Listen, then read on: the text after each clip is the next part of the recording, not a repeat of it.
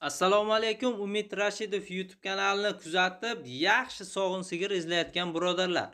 Do'stlar surxondaryo viloyati denov tumani islom jo'rayev mahallasida sotilayotgan ikki e, ikki bosh sog'in sigirni sizlarga ko'rsatib o'tib ketamiz. Birinchi sigirimiz simental bolasi urg'ochi ikkinchi bolasi ekan. Suti 25 litr anig'i 20 litr deb aytishyapti. Agar kimga mana shunday sigirlar kerak bo'lsa pastda telefon raqamlari bor bemalol telefon qilishingiz mumkin. Narxiga kelsak 30 million so'm aytishayotgan ekan bir ikki so'm umidjon kelishtirib beramiz deyishyapti. Endi u narxiga biz qo'shilmaymiz o'zlaringiz savdoni qilaverasizlar.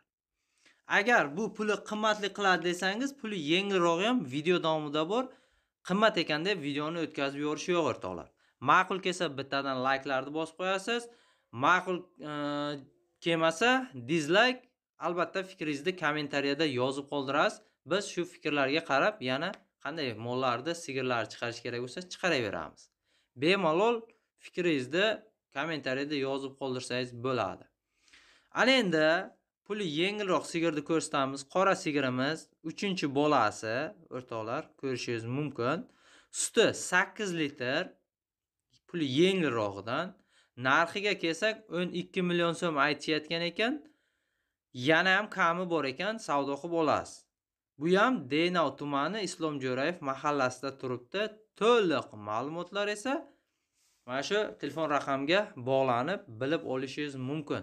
Agarda siz denov tumanidan bo'lsangiz borib denovni o'zidan sigirlarni ko'rib ustida gaplashib olsangiz ham bo'ladi.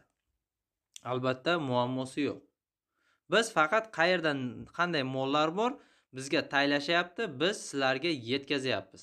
Qolgan savdo sotiq ishlari hammasi o'zlaringiz bilan bo'ladi. Agarda mana shunday sotiladigan mollaringiz bo'lsa moshinalaringiz bo'lsa bizga aloqaga chiqib